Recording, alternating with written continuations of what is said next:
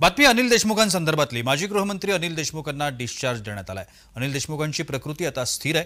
गाडीवरच्या दगडफेकीमध्ये अनिल देशमुख देशमुख हे गंभीररित्या जखमी झाले होते. मी कोणालाही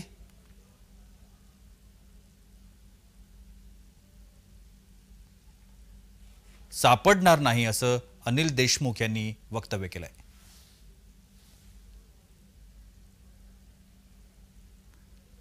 मी कोणालाही सापडणार नाही असं वक्तव्य अनिल देशमुखांनी केलंय.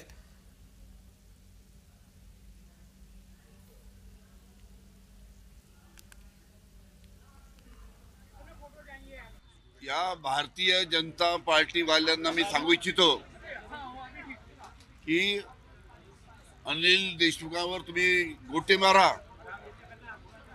किंवा गोळ्या झाडा. अनिल देशमुख मरणार नाही. अनिल देशमुख मरणार नाही.